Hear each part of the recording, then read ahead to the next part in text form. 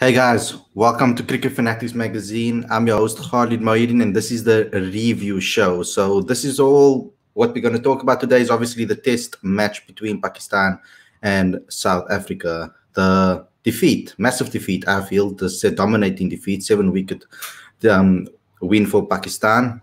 The Proteas struggled. I feel throughout this match to obviously get to a standard. I think that they would have been happy with.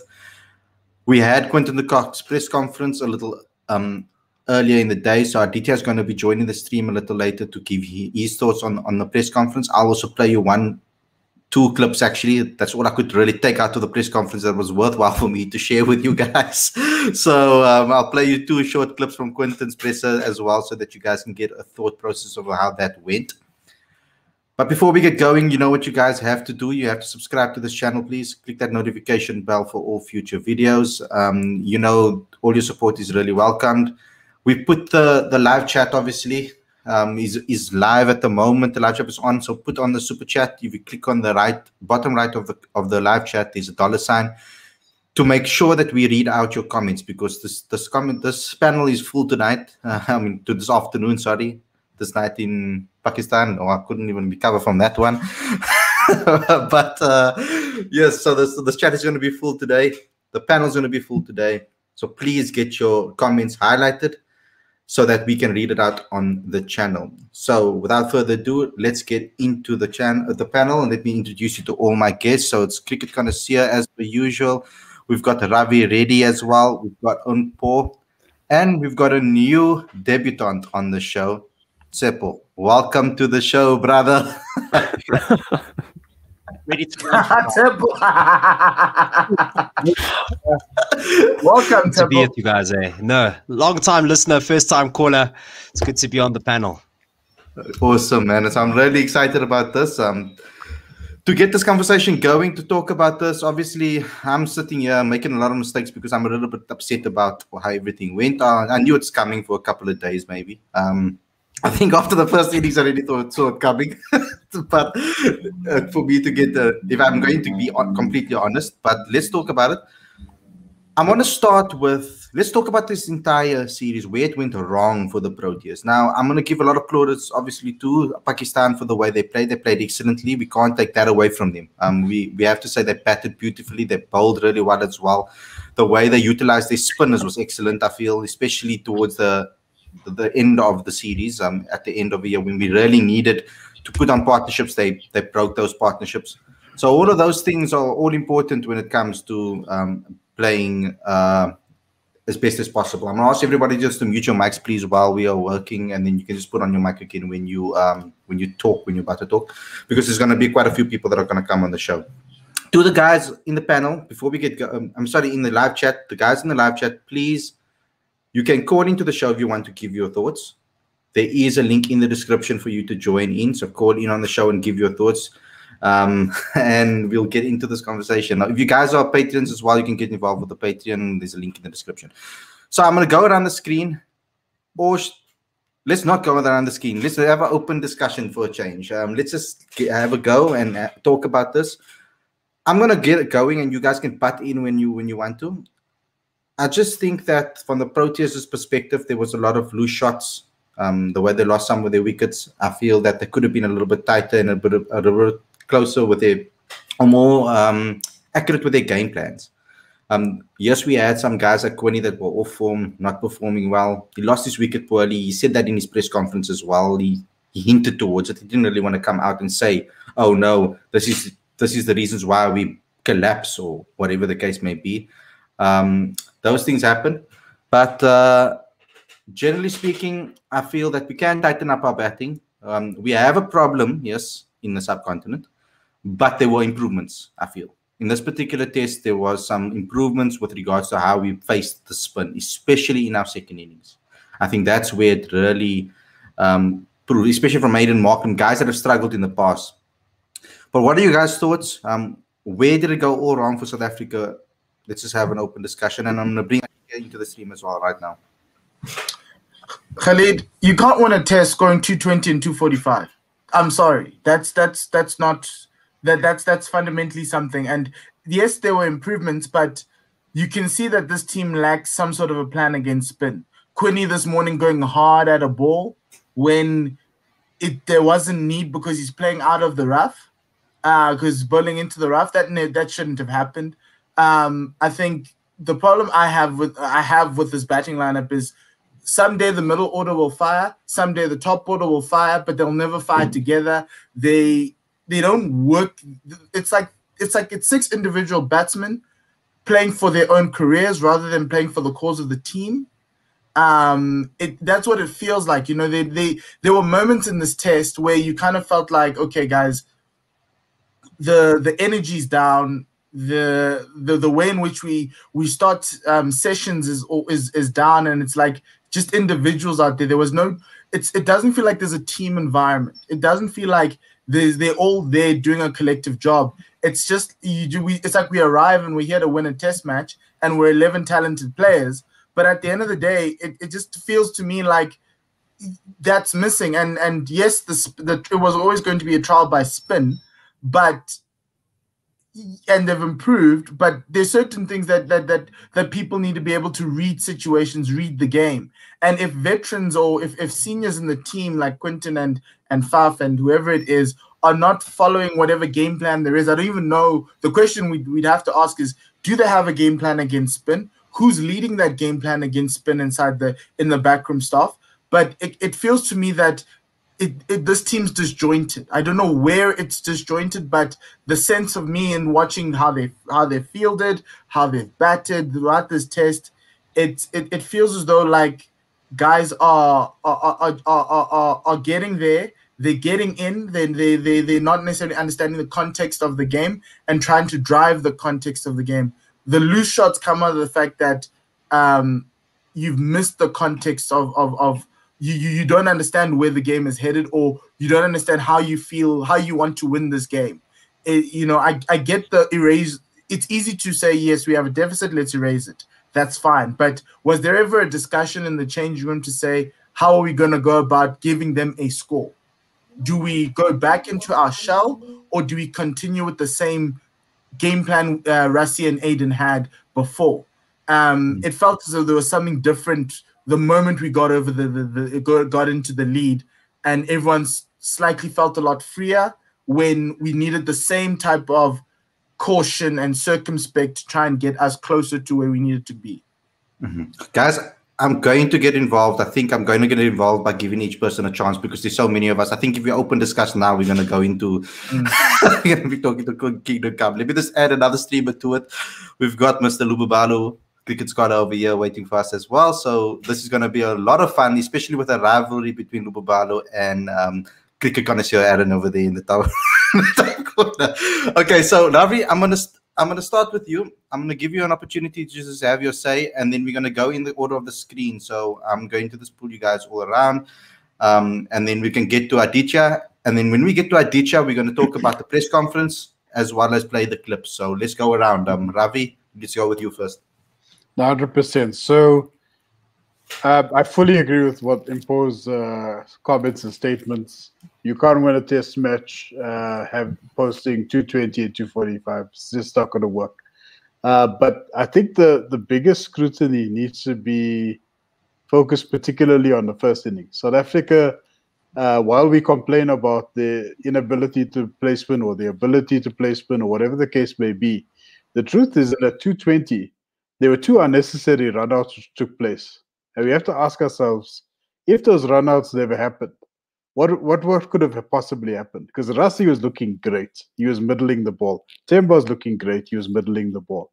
Uh, in my opinion, if they if they didn't uh, make uh, any haphazard decisions, you possibly would have looked at another 60, possibly 80 runs.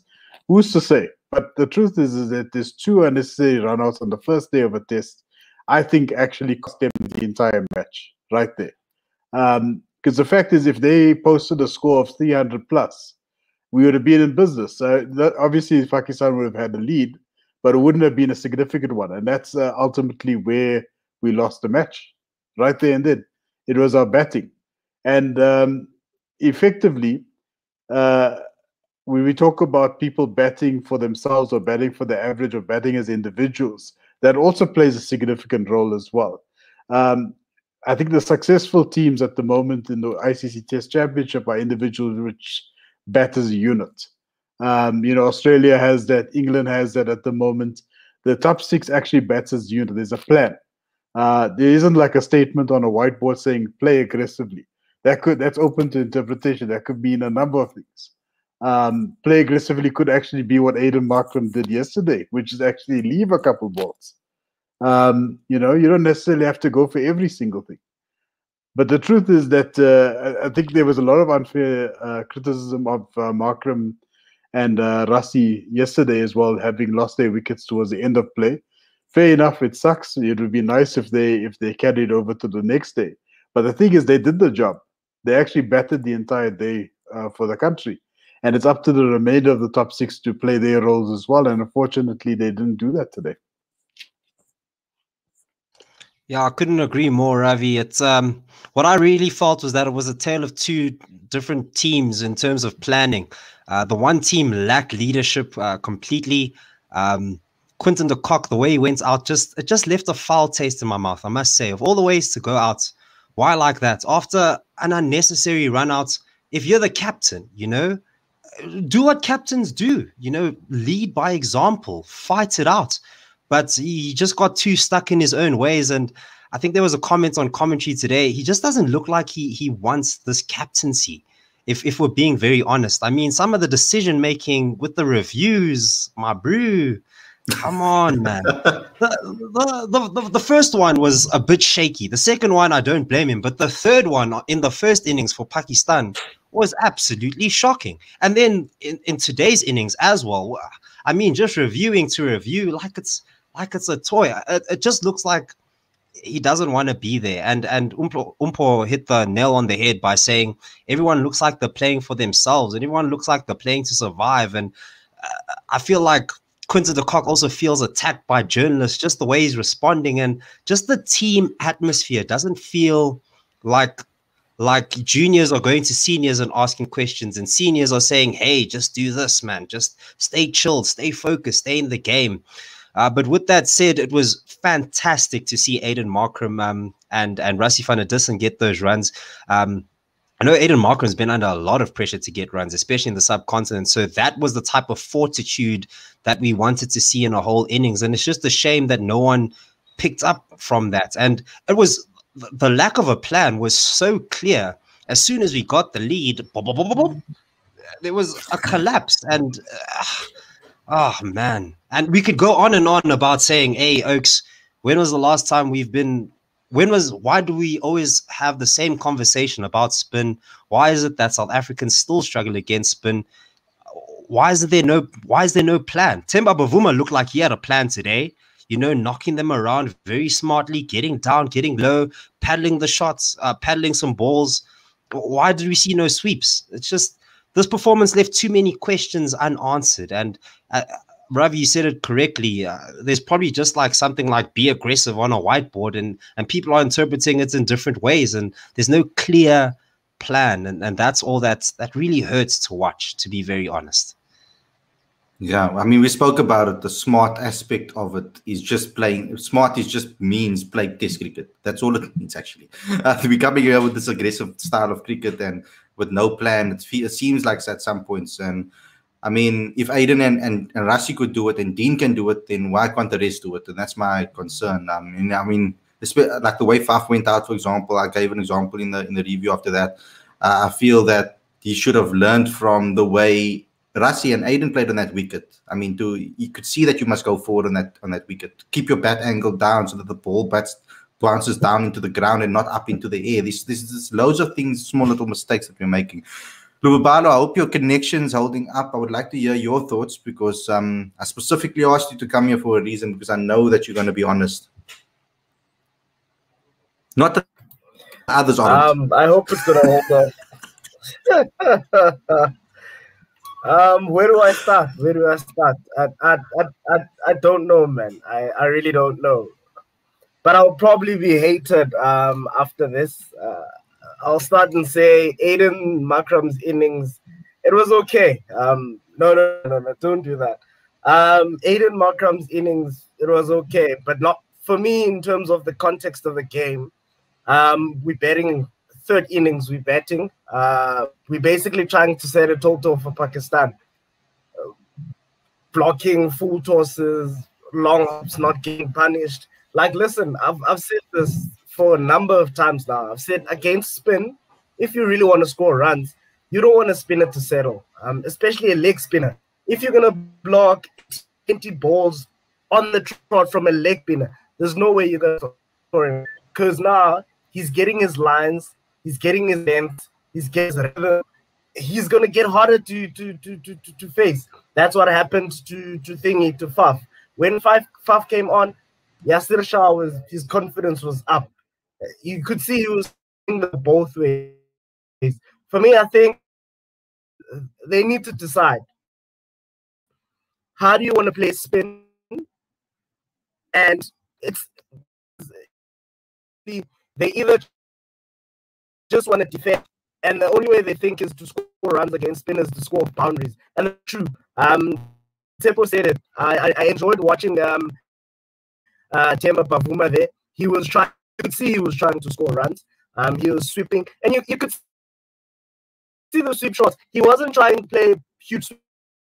He was basically just trying to rotate strike, and I didn't see Markram and and, and Rassie uh, yeah, they did well to try and bring us back in the game, but um, there's no guarantees. If you think you're going to face 200 balls and you think you're only going to start scoring runs after you've, you've faced 210 balls, it's going to happen that the 211th ball has your name on it. So that's why that balls need to have to hit boundaries. A long hop, at least get one. Toss. I watched Aiden Markram block a full toss, and there was no one in the boundary. Everyone was in. You can't tell me you're afraid of going out.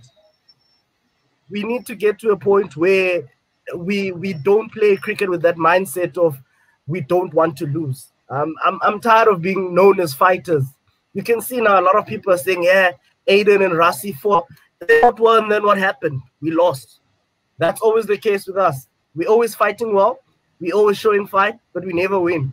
In India, um, Dean Elgar and uh, Quinton 100 yeah. each. Everyone was like, "Oh, at least we we, we 100." That's not enough. Not enough. We need to start winning matches. I don't care about fighting. Whether Oaks wanna fight hard and face 300 balls and only score 80 runs. No, it, it needs to. We need to move away from being that no team that's known for for fighting. Because I can tell you now, could we hold of not um, doing away series um, away? I think it was about four hours at nine years. If you look at how we played then, we we no longer have that team that could just close shop and play for a draw. The team we have now, we need to play based on the team that we have now. Um, Graeme Smith had Jacques Kallis, he had Hash, he had AB Oaks who could just close shop. They could close shop and say, well, want to draw in this match, so we're going to play for a draw. But I can tell you now, you're betting in the third innings, you're betting on day three, there's no way you're going to bet for a draw. You need to try and push for a score. But if Oaks are going to face 200 balls, only making 70 runs, you look at how Fawad batted. Fawad didn't play, he rotated 200 balls, he still got to 100. So, mm. as much as people are happy to see Aiden drafting hard, I still would have liked to see him rotate strike a bit better. Not saying boundaries. I don't want want fours. I don't want sixes. Just rotate strike a bit better. That's the only way you're gonna play um spin. That's something that um Joe Root did very well against Sri Lanka. Nana. He was made big booming shots. He was just rotating strike, being busy on the crease. Don't allow spinners to come to you. Don't allow spinners to bowl at you freely. And at the moment, we just want to block, block, block, then go we're not going to win matches playing like that. Now, thanks for that, Lou. That that is excellent because it's a lot of the points that we all wanted to, to actually say. And we love the passion because that's what we need from fans. And guys, get involved in the super chat and, and let us know what you think so that I can show your comments on the on the stream as well. Okay, um, Aaron, from your point of view as an outsider, to to watch the way South Africa battered in this match, and I'm and I'm emphasizing that because I think the bowlers they actually showed their their their their fight. I don't want to use the mm-hmm. word fight all the time, but they show their their fight to be able to try their best to to to save the test match for us. I mean, they bowled excellently in the morning. Um, uh, in their first at the beginning of Pakistan's first innings and, and to really fight back and do that. So um, I don't want to keep on using the, the word fight um, all the time, but uh, it's important that we do use it because, especially from the bowlers, when when we didn't put on that runs at the beginning, um, uh, I think everybody felt it in their hearts. We just all sank, um, seeing that little runs on the board in a in a place where you knew because we won the toss. It's not like we were putting mm-hmm. bat. We won the toss, so we should have. And we were speaking up. Boucher was speaking about it. Quinny was speaking about it before the test about how we have this plan to play against Pakistan in their conditions. Um, that we knew that this track was going to spin. Everybody knew that. It was crystal clear. When I spoke to Zainab Abbas, she told me when I when we had when we had the um, the pre the press conferences before the time, we we knew that that's going to happen.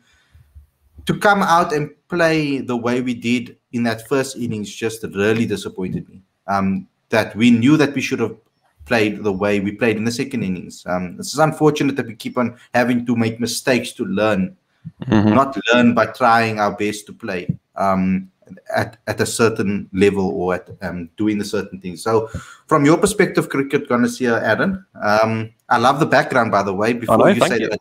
Uh, uh, before I, you say that I didn't give you um, credit for the, the, the cool background, um, what are your what are your thoughts on this match? Well, before I, I analyse South Africa, let's first of all give an immense amount of credit to Pakistan, and in particular the likes of Fawad Alam, as Lubabalo correctly said. He showed everybody how to play on that surface. He dug in, he grafted away for that morning session on day two, and was absolutely sensational. I loved watching him bat. I love Fawad Alam. He's unorthodox, he's gritty, he's resolute, he's a determined batsman. And as I said, it was just a bit of a masterclass on a pretty difficult surface in comparison to a lot of other batsmen. And then, of course, with the spinners, Yasir Shah turning into an almost prime Shane Warne on that surface. He was absolutely brilliant, getting lots of revs on the ball, lots of turn, being an absolute menace towards the likes of Faf du for example. And then today, Nouman Ali as well, 34 year old on debut, had a fantastic Azam trophy, took 61 wickets for Northerns, knows that surface like the back of his hand. Just brilliant. So, first of all, immense credit to Pakistan. They thoroughly deserve to win that. I thought they were absolutely brilliant. Now, with regards to South Africa, I do think that that first innings was the killer because it's not just in Pakistan, but in India, Sri Lanka, Bangladesh, wherever on the Asian continent you need first innings runs because the pitch deteriorates, it spins a lot more. And Karachi this year, I said it in the preview shows with regards to the spin, it deteriorates very, very quickly. The likes of a Sajid Khan, who didn't play in this particular test match, was racking up wickets for fun in the Quaid Azam Trophy in Karachi. So I think that was the key. I think that was the first major body blow.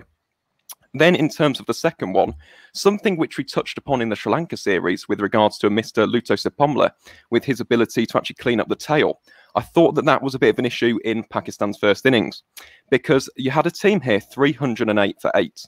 You have them on the ropes, basically. Of course, you had that bit of misfortune with Keshav Maharaj overstepping. You could have had Hassan Ali out for about a couple of runs. And instead, those last two wickets, Hassan Ali got 21, Nouman Ali got 24, Yasir Shah got 38 not out. I thought that was the real killer body blow. Instead of having a 100 deficit to chase down, you've got a 158.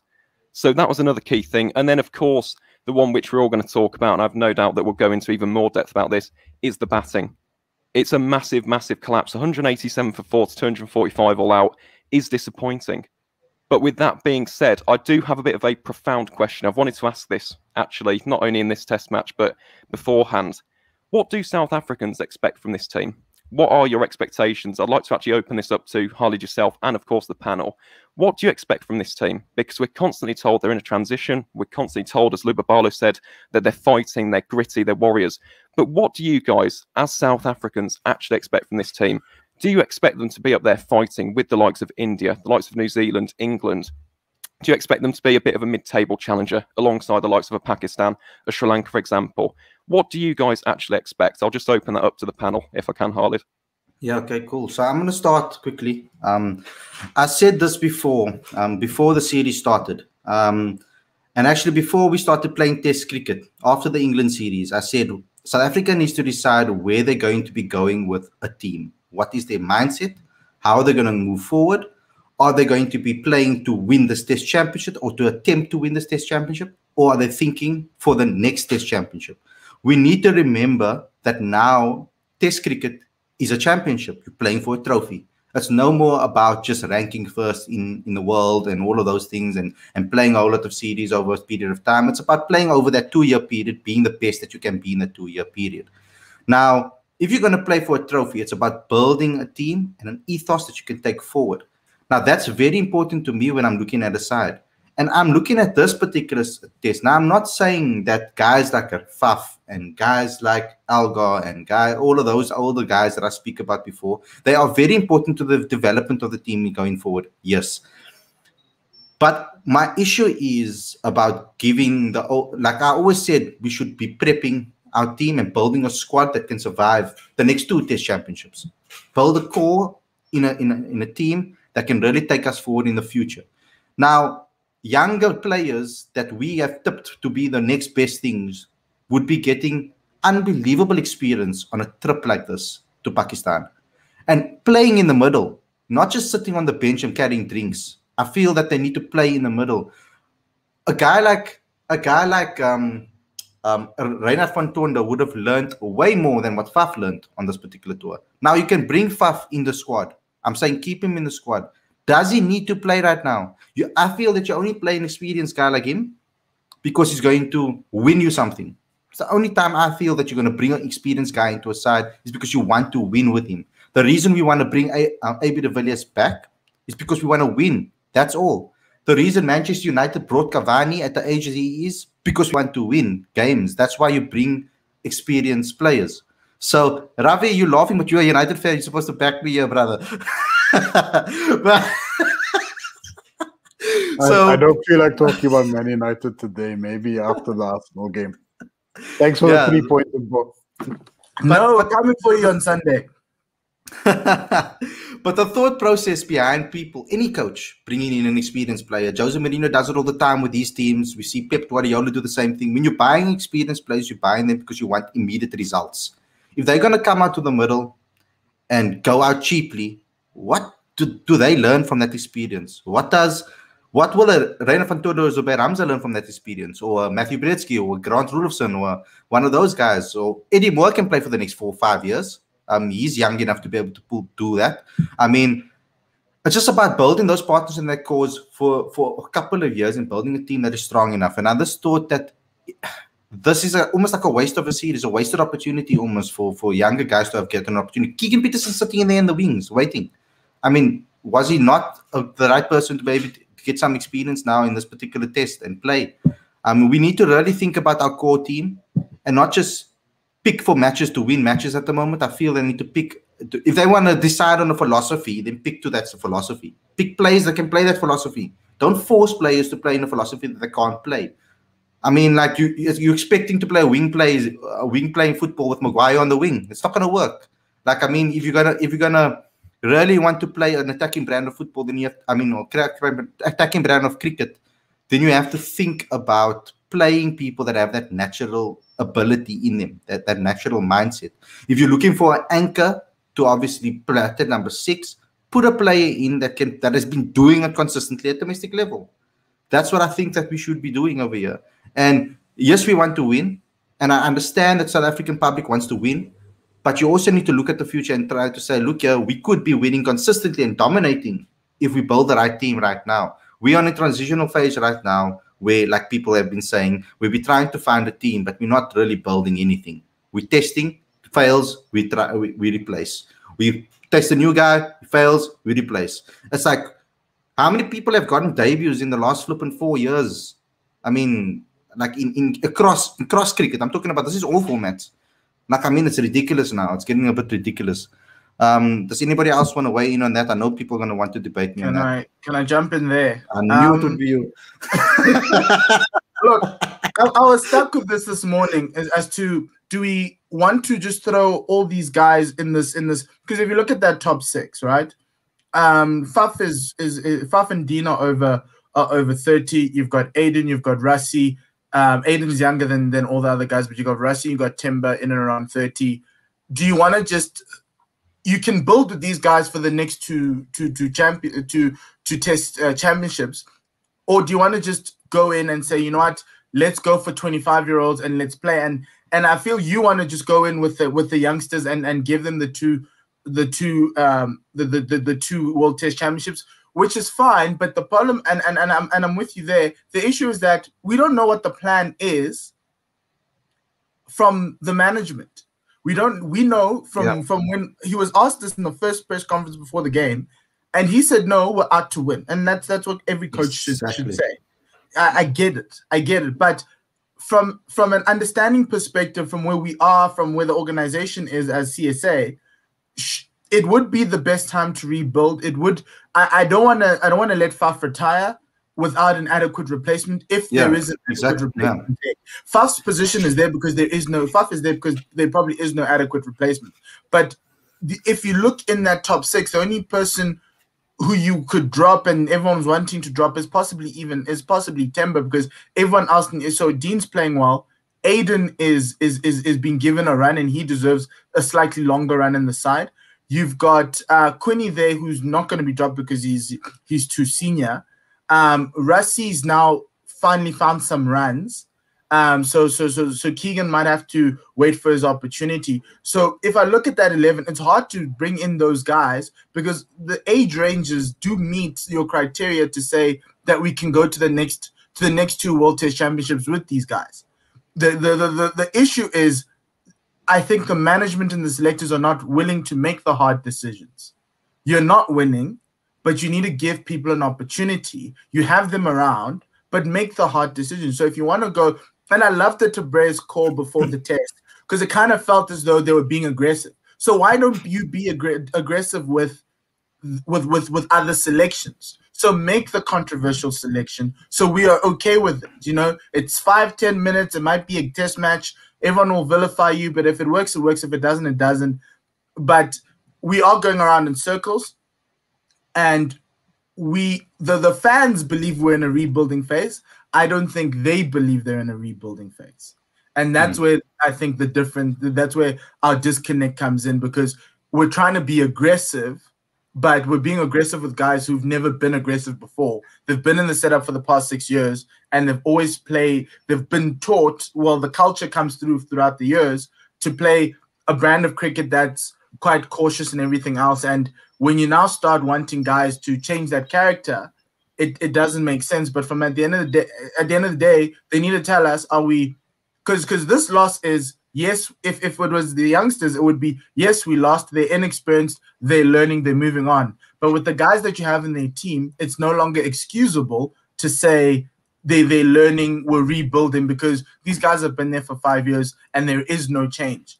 So he has to stick with a set 11 and it looks like this is a set 11 to carry on i feel mark wants to win some games so his coaching record doesn't get doesn't get decimated by traveling around the world with youngsters so it, it's that it's that balance that he's trying to get but there is no messaging coming from them to tell us what is what the plan is Mm, They should have done this planning and back when they originally were appointed before the England tour. I was speaking about it then. Um, now it's a little bit like uh, you, you have to commit. You've committed to that style. It's too late now to want to try and prepare now for for for the next. I mean, you have a year.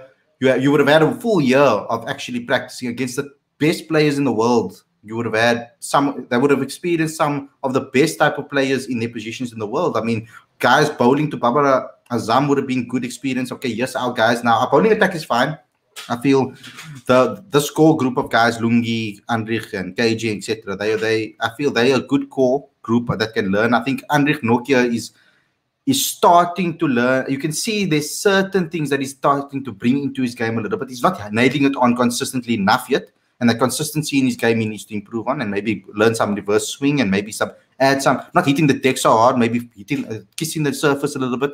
But there's certain things in swing bowling that he needs to add to his game to him to become a top, top, top um, cricketer. But we've got guys like Wiaan Mulder in the side that they're trying to breed in. I'm just I'm worried about the batters because that's where we failed over the last I mean three, four years is where we failed. We've trying to look for this next big thing and can't find it, and we've been struggling. I mean, we haven't replaced Ash, we haven't replaced Shark, we haven't replaced Herschel Gibbs, we haven't replaced Graeme Smith, we haven't okay, maybe Graeme, you can maybe say him and Elgar are fulfilling a similar role. I think obviously Graeme was a little bit more attacking than Elgar, but fair, but but basically he is filling that role. We we haven't replaced um the likes of AB. I mean, there's so many players we haven't replaced yet. And batsmen are the type of people that need a longer extended run to to get their flowing and their confidence up. I mean, you can see batsmen will go through a dip and then all of a sudden score a massive century, and then they'll go through a dip and then they'll score two centuries on the trot, or two fifties on the trot. But before we get going, let me just um, before we move on, I just want to get to Aditya quickly because we want to talk about the press conference. So before I get to Aditya, I want him. I want to just play the two clips from Quinny, um, what he said about batting collapses and what he said about batting in general. So this is what um, Quinny had to say. Sure. Trust me, if I knew, I would let you know. And if we knew how to fix them, we wouldn't be doing it in the first place. Um, so yeah, um, we have spoken about it. We are trying to find a way how to how to stop it, but unfortunately, it's you know we're not these collapses are not happening on purpose. Um, you know, so it's something we are trying to figure out ourselves. So so yeah. Look, to be honest, I think the first innings we actually gave them our wickets. To be honest, um, so I think we'd be quite all right. Um, second innings, obviously, there was one or two good nuts, but you know that's part of the game. You're going to get one or two good nuts. Um, so I'm sure we we still fine. Um, just going to go back, uh, just prepare like we did, just come back mentally stronger. Yeah, I think the the concerns here, Aditya, is that the sub the we're not going to be able to see if the Proteas have improved in Rawalpindi because necessarily because we might get completely different conditions there. Um, so it's not like we're going to see that we we've improved playing spin whatsoever um, in the next test. So, what is your thoughts? What did you take out of the press conference? Well, one is that Quinton de Kock is not uh, in a particularly chatty mood after loss, and we've seen that after the England tour as well. Uh, so he wasn't here too, and he didn't have a, a, whole lot to say. I think generally it was the obvious learnings about um, not having a significant enough first innings total, and then um, you know this the Pakistan is making better use of uh, spinning conditions. So that was essentially the theme of the game, really. And um, Quinton talked about it as well. Uh, but yeah, ultimately, I think uh, you know he, he also said that they were trying to score in the first innings, um, and then they tried to get stuck in in the second, which was the main difference. But I think every every tactical move that has been made by the South Africans through the course of this game has to be viewed with the perspective that there was still a day and a half left in this test match. And mm. winning the toss, they had the best of the batting conditions on offer. So somewhere I feel like before the game, there, there was so much talk about you know run rate and you know having scoring options and things like that which which are all fine. But i think too much of that played on the proteas' minds in the first innings and i don't think it's as much a technical flaw against spin or a technical flaw against pitches in asian conditions. It's it's so much of a mental thing and you can see that uh, like Lubabalo very rightly mentioned that while Aiden and Rassie, Rassie made, you know, 70s and 60s, you know, you're blocking full tosses or you're blocking long hops. That that tells you that, you know, they're being conservative, they're being watchful. So you're actually playing into the hands of the opposition. And it indicates a degree of insecurity within their own game. So it's these things are getting to the Proteas. I think all the chatter on the outside is getting to them and uh, they need to find a way to block it out without really using that you know we're just gonna blast the opposition out of the game they're not going to be able to do that Bala, I think that will tie into what you wanted to say earlier on.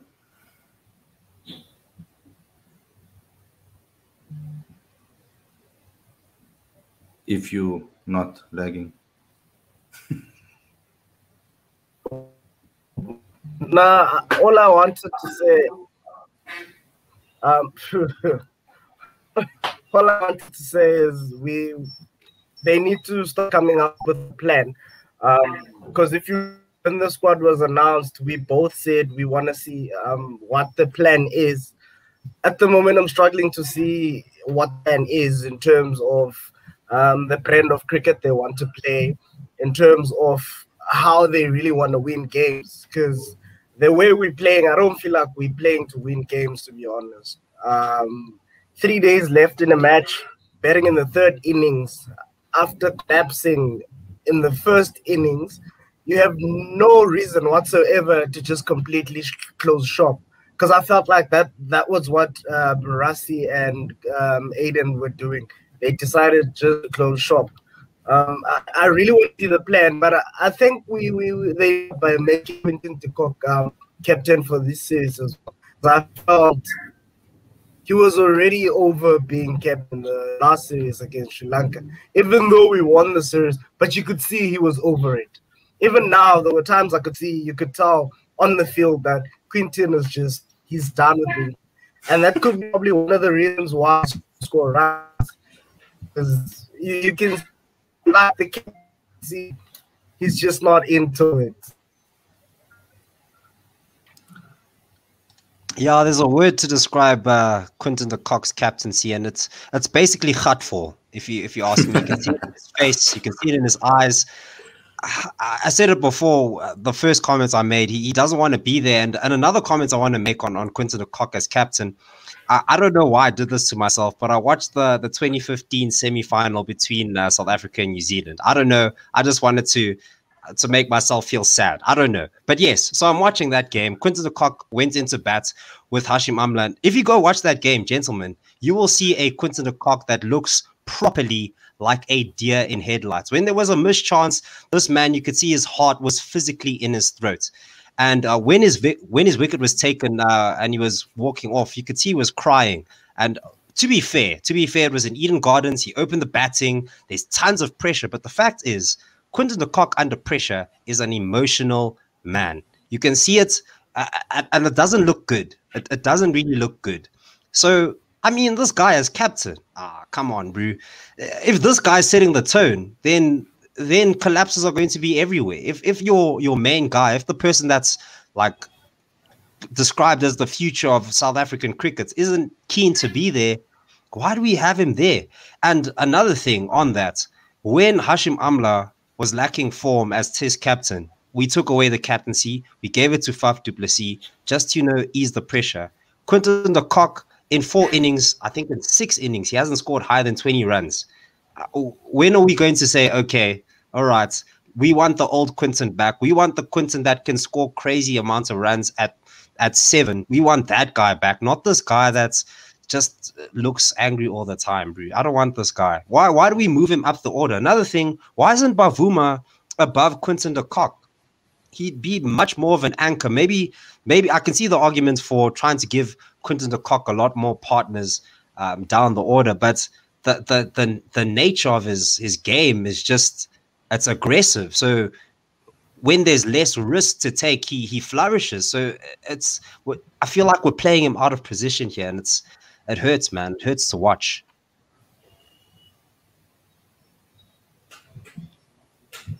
Yeah, and you know that's also taking a toll on Quinton tactically. For example, in and you know generally for all the planning that you do pre-game, cricket a cricket captain has to think about the game on the field as well, and it was it was pretty evident that the Proteas fast bowlers were getting more punches out of the wicket. They were troubling the Pakistani batsmen more. But somewhere in all the conversation about spin before the game, I think it got to Quinton. So that second new ball, which was given to Keshav Maharaj, was wrong tactically. That should have been given to uh, to KG because he troubled Pakistani batsmen the most. Even at that time, I think he had two wickets in the wicket column. So I think that's a that's a tactical mistake that uh, that Quinton made. Secondly, after Rassie got out yesterday, I think there were about seven overs to go, eight overs to go in the game. Mm-hmm. It's it's no it's well known in cricket that the hardest place for a batsman to wait is the change room before he's out to bat. After Virender Sehwag made 300 against South Africa in Chennai, Sachin Tendulkar had waited an entire day. He came out to bat, he made a duck that's that's just that's just how cricket works, unfortunately. And I think sending Faf instead of Keshav yeah. Maharaj, night watchman, was the wrong decision. it was wrong tactically. It's not like Faf is good enough to handle Yasir Shah. But at that point, I don't think it was the right move to make. And that to me has, has put uh, had put South Africa in a pretty bad position going into into day four. I kind of feel like I'm not confident of knowing who's going to play and who's not going to play and who's going to do what and what's this like I was saying it under Gibson when we started this whole attacking brand of cricket that we wanted to play. Initially, that was a Gibson thing. Otis Gibson came in here saying that he wants to play this attacking brand of cricket because obviously he got that. It was fed from England. I mean, he's, he, I mean that, that's probably where he learned it from. And we went out swinging. So then I was like, but why? So South Africans naturally, because of our conditions and the pitches that we play on at franchise level we naturally play an attacking brand of cricket automatically. So why not pick players that can play the natural games and put them in positions within the in the lineup so that they can just play the natural games and that will help us play an attacking brand of cricket.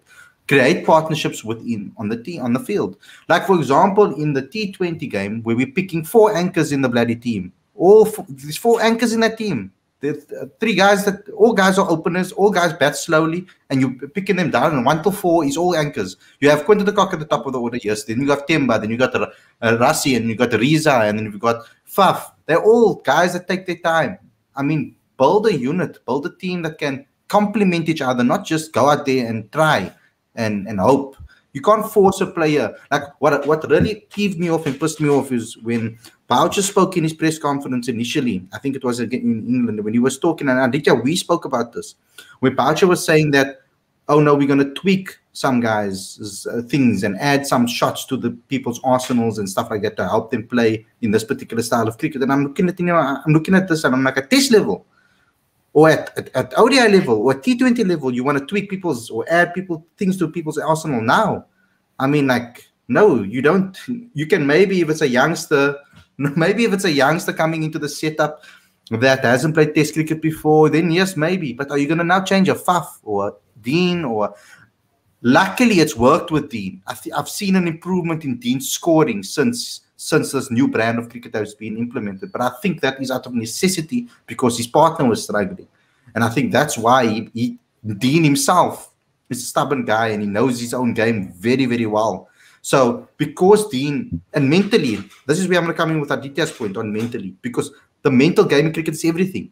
It's how your mindset is that makes you play the way you play. Something that I've learned from a Kyle Verreynne interview is exactly that, where he told me that when the pressure is on, everybody and the wickets have fallen, everybody expects you to fail. That's why I can go out and play my natural game because everybody expects me to fail anyway, so there's no pressure on me that shows that there's a, boy, there's a mentality in there that's saying, look here, I think about the game a little differently. Rynhardt van Tonder, you're looking for tough players. Are you going to look for tough players just because of the strike? What are they going to look at the strike rate and say, oh no, this guy's a grinder? What about the mentality of pushing through a difficult situation? Look at a player's career. Look at how he's faced his career at the, at the professional level. Someone like Rynhardt van Tonder who went out to bat when the when the medical staff told him not to and advised him not to in the World Cup, not to bat because his hand was broken, it refuses to let the team down because he knows he's the captain of the side, goes out and scores 180 or a massive 100 in a game that he's not supposed to play. That takes fight. That takes character. We all talk about Graeme Smith when he walked out in Australia with a broken hand. So it's, it's mentality that not every player is going to do that. Dean Elgar, he should have retired hurt, I feel. But he went out and he showed the attitude to go and bat and go and play anyway, because we need those type of guys to be able to play that way. You don't want to just play a defensive brand just because of the sake of it, or just go out there and attack stupidly. Like that's not the point of this. It's supposed to, I feel that we're not picking players that that complement each other necessarily, or that can play a certain or fit into a certain brand of, of cricket that we want to play. Um, we're rather trying to change people to play in that particular brand, which I think is impossible. Uh, it's impossible to do. I mean, if, in any sport, that's that's you're asking you're playing with fire. Anybody else want to add to that? Yeah, I can go. Um, yeah, absolutely. So I think we need to get the right people on the bus. There's a book called Good to Great by an author by the name of Jim Collins, and he always talks about getting the right people on the bus. It's in an in an organizational framework sort of context, but effectively what we're talking about here is like a cultural shift as well to get the guys that sort of complement each other to get them to work as a cohesive unit. Because right now i think what we all are pretty much saying the same thing is that the top six as it stands right now is a very uh, disjointed venture a very disjointed enterprise in the manner of speaking. Um, i think the only guys that really uh, sort of have some level of cohesion is obviously Markram and Elgar um, other than that, um, everybody's just doing their own thing, having a bit of a laugh on the field, and and you know, I mean, I, you saw Quinton and Faf they're having like a liquor laugh, you know, like a care, you know, let's let's just light a, a braai fire later and you know throw some sausages on the on the braai. You know, I mean, this isn't a club game, guys. Yeah, I don't know. Obviously, everybody feels cuck about it. Uh, I'm sure everybody feels like really shite about it. Quinton de Kock will be the first guy to admit that to you. But the truth is that you need to do a lot more if you want to improve your circumstances. You have to do a lot more if you certainly want to win in Rawalpindi. And I can guarantee you, if we play the way we did now in Rawalpindi, we'll get creamed. We're talking three days, not four days. Um, we, we're in big trouble here, boys. And right now, it's not about playing aggressive cricket, it's about making aggressive selections. I think we need to look at the entire squad uh, squadron and, and say to ourselves, uh, which sort of uh, uh, players. Sorry, that's my wife in the background. Hi, Mrs. Hi, Mrs. Reddy. yeah, yeah, she, she's not too happy about the cricket either. Um, yeah, which sort of players we need to consider as uh, as potential contenders for the role? I mean, I, I, hate to see a guy, a gifted batsman like Kyle Verreynne, constantly carrying drinks. I'm sure you share the same frustration. I, I hate to see a guy like Keegan Petersen constantly carrying drinks, also having a laugh on the boundary. Uh, Sarel Erwee, uh, is also sitting sitting around, you know, and it makes you wonder, you know, these guys are all hungry. They're waiting for their, their golden ticket, their golden opportunity. And uh, I can tell you now, if, if Elgar is injured, that's going to be a huge cause for concern.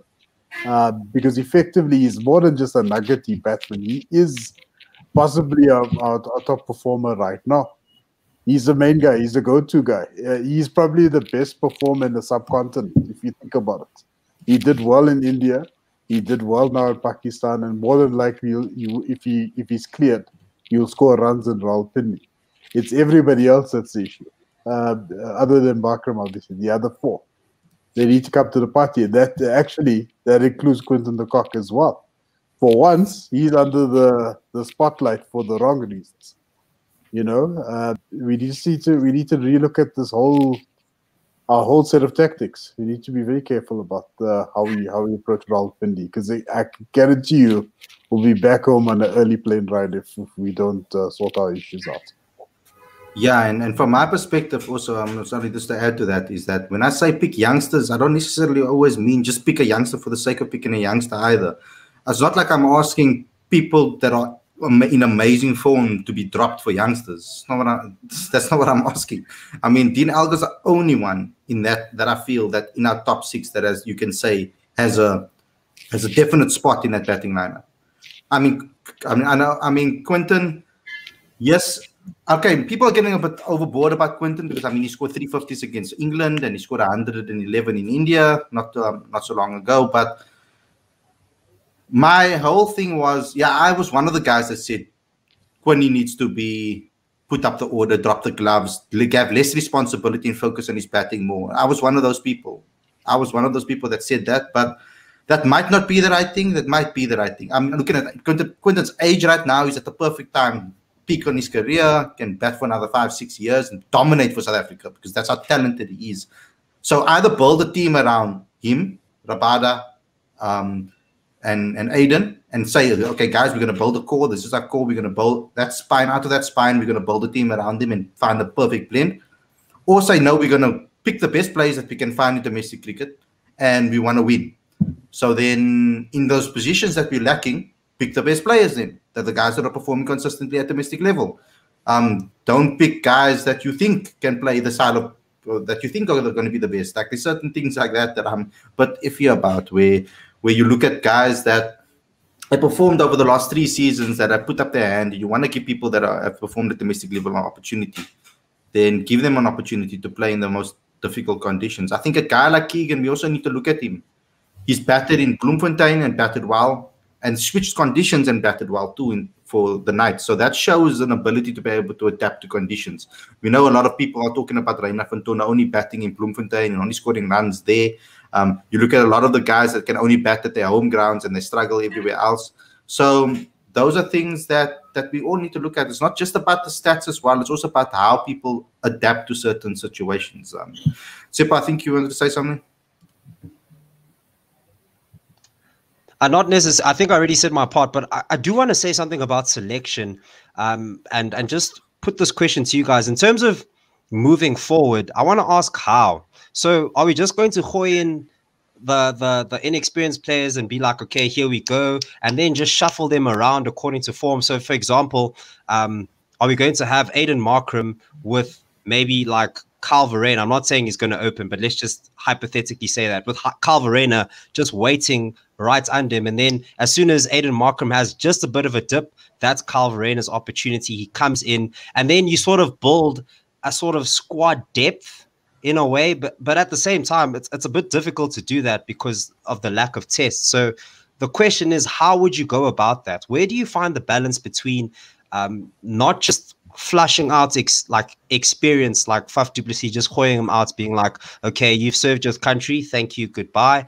Uh, where do we find that balance? You know, mm. that's true. So you want the guys to be able to bat with him. So you look at a guy like, so so if you look at the top run scorers for the last five years. I mean, in, in domestic cricket, give them the chances. So, like, I'm at the moment, I think that you you have your experienced guys, but you, I think bring the youngster in at number six. Now we're obviously putting Temba at number six, and that's where he's batting. Um, but if you push everybody up, right? So you have Aiden, you have Dean, you have Faf, you have Rassie. Um, Rassie's a newbie still. He's still inexperienced in Test cricket. So we we also he's also getting the opportunity now to express himself in place. I mean, if he didn't go to Pakistan, he would have never gotten an experience of how to play on that pitch. He's going to take that with him for the rest of his life. He's going to learn from that experience. Aiden's going to take this into his game for the rest of his life. He, he, you could see there was an improvement from India. He's changed everything about the way he played. I've never seen Aiden leave so many balls in my life. I never even saw Aiden pad a ball that was before in my life. So you could see that it's helped him and taught him something, something that he wouldn't have learned in domestic cricket.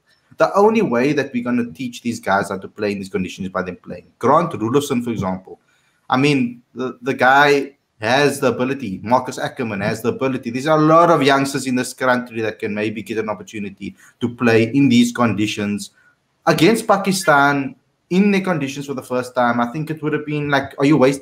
I feel it's a wasted opportunity. If you're not going to 100% guarantee that our team is at its best and that are going to beat Pakistan, then what are you doing? That's my point. Um, let's just wrap it up, guys, because already almost going into an hour. Um, we can start with Lubabalo, then go to um, Cricket Connoisseur Aditya, and then we can end off with Sepp. Um, for me, I feel we we missed we missed an opportunity a long time ago um, with our SAA side. There was a time where you'd look at the average age for the SAA side and you'd find it was around 33, 32. And I used to complain a lot about that. That's mm. where the problem um, started. Remember, at SAA, you get to face um, some international bowlers. Sometimes you even get to face guys who who are who are starters in their national team. I think that's where we messed it up. Mm. And another thing, I think I've said this before, um, we failed to introduce youngsters when we were still at the top. And now we are playing catch up. So it's not easy to bring in a youngster and say, we're going to groom you at six because you're grooming him at six. Number three is not scoring runs. Number four is not scoring runs. Number five is also struggling for runs. So it's no use. If you bring in a youngster, if KP plays, he needs to pay three. There's no other way we cannot hide him anywhere because the team needs a number three in the first place. So, but for me, the last thing I want to say is I want to say I really want to see a change in approach. I want to see a change in game plan. I want to see us play positive cricket. I know a lot of people on, on Twitter think I'm saying I want to see Oaks play big shots. No, strike rotation, strike rotation. Like I, have I've, I've, been, I've been making this example for the past three weeks if you're planning to face 100 balls. There's no guarantees that you're going to go beyond 100 balls because in any format of cricket, there's that one ball that has your name on it. And if you're lucky enough that you face 100 balls, you need to make the most of it. If, let's say, you get about 20 runs from 100 balls and then there were like 10 bad balls, the least you can do is try and score minimum runs off the bad balls. So that's minimum runs is a single run. So if it's a full toss, you play it on the ground for one. Long hop, playing it on the ground for one. That's the least you can do just to rotate strike. Because if you're gonna say, no, I'm gonna score 20 in the first 100 balls, then after the 100 balls, I'm gonna start trying and pushing. You, you, there's no guarantees. The 101 ball, the 101st ball could be the one with your name on it. And if you think the guy coming after you is gonna come in, he's not in the same form as you. He hasn't been betting as long as you've been betting in the pitch. So I want batsmen to take responsibility. Don't say no. If I take time out of the match, the other batsmen are coming. There's no guarantees that they're going to score runs. A collapse can happen any day. Erks need to take responsibility. I really want to see um, a change in approach. I really want to see us play. I'm tired of being known as fighters. In World Cups, it's the same thing. Oh no, the Proteas fought. Tired of fighting. We need to start win, winning matches now. Mm. Yeah, and Lubabalo, to be honest, that last little piece that you just mentioned there about responsibility, definitely agree with that. That's something that I'm also looking for from South Africa. Also, with regards to Pakistan as well, I know we haven't really talked about Pakistan, but of course, I think they'll want to force home their advantage as well, heading into what is basically a seamless paradise in Rawalpindi. And with regards to the, the surface in Rawalpindi, I don't think it's going to be the exact same as Karachi it is absolutely notorious for offering a bit more for seamers. So you're going to see the likes of Nortje, Rabada really coming into it. And someone who I'm just thinking that South Africa may have to look out for if we're looking ahead is Haris Rauf potentially. I think that could be a very, very interesting selection from Pakistan. I think he's only played about three or four first class games, but that is another X factor that these Proteas batsmen are going to have to face and come up against. So, with regards to the next game, looking forward, I'm not saying that we should be ridiculously optimistic. I'm not saying that South Africa is shooing to win on that surface, but it's definitely a lot more to the Proteas style of play. It's a lot more seam conducive. It's not going to turn as much. If you look at the averages, for example, from seam compared to spin, it's massive. It's absolutely massive. Fast, lightning quick, express pace bowlers like the Nortje Rabada, Rauf, Shaheen Shah for example, will absolutely feast on this surface. And that also allows for the likes of Markram, the likes of Elgar, for example, to play their natural game as well. So let's not go into it with loads of confidence. I know everyone's a bit low because you've just come off the back of a pretty, well, it was a thrashing, wasn't it? A seven wicket loss. But with that being said, there's still little positives to take away. You have to keep that grain of optimism. Okay, heading into that next match, it's going to be a lot more suited to the Proteas themselves. So let's just go into that. Let's put this game behind us and let's focus in on that second test match in Pindi.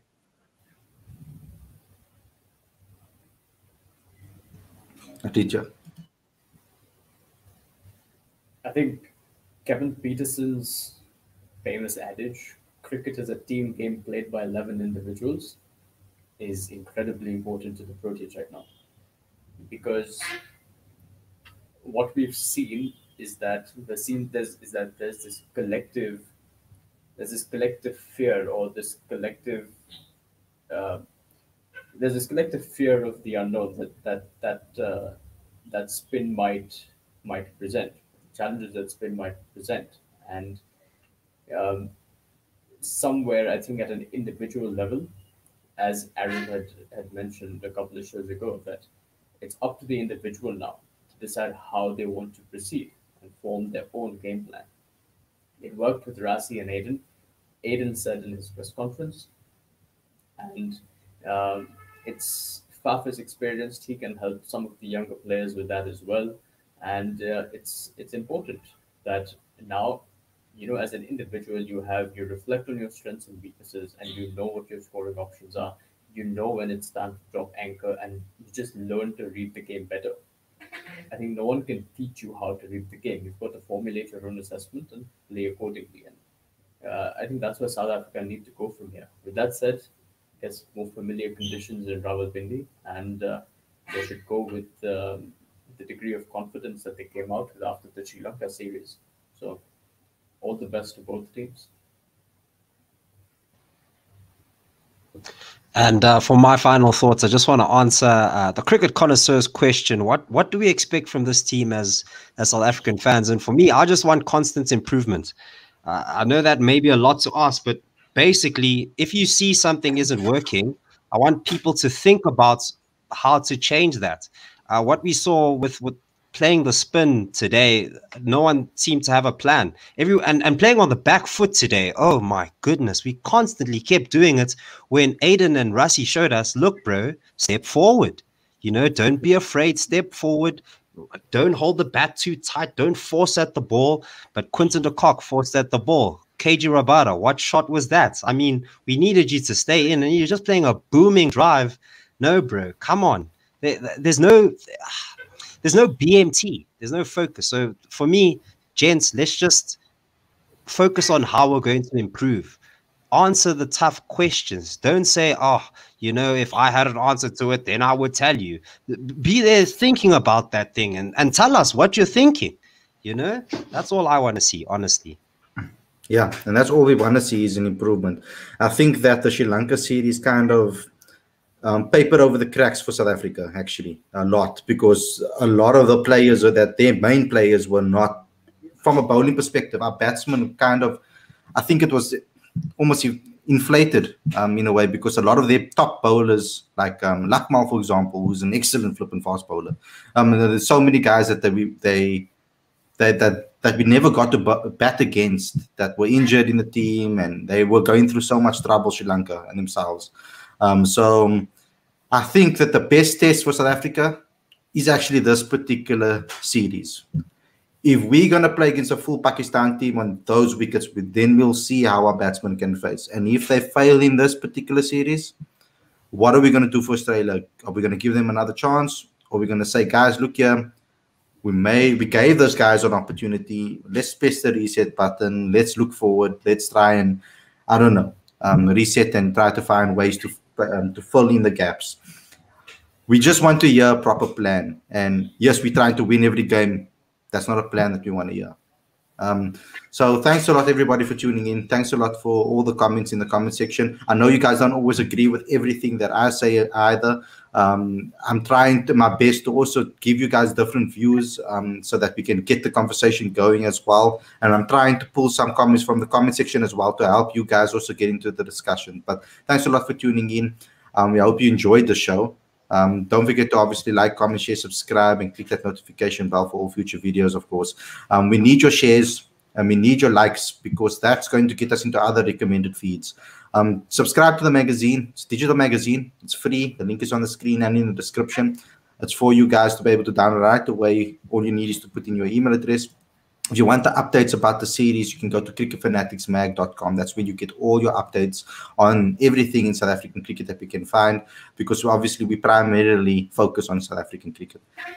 If you guys have a business, and you're a small business, whether you're a big business, and you're looking to make sales online and you're struggling during this period, so Cricket Fanatics Magazine can help you. All you have to do is click on the free tutorial on this channel and click on the link in the description as well. We will help you guys make sales online, even if your business is offline. So just get in contact. Even if you want to promote your brand with Cricket Fanatics Magazine, we opened up the whole rate card and everything for you guys to help. Even if you're a small company, don't have a big budget. Um, as well, we have opened up our Patreon as well, so you can become a patron and join this journey today. The links are in the description too. Thank you a lot, Cricket Connoisseur. Thank you a lot, Aditya. Thank you a lot, Shepo. Thank you, Mpho. Thank you, Lubabalo. Thank you, everybody that can join the stream. Thank you, Ravi, for always coming on as well. And we'll see you guys very, very soon. Take care, everyone. Bye.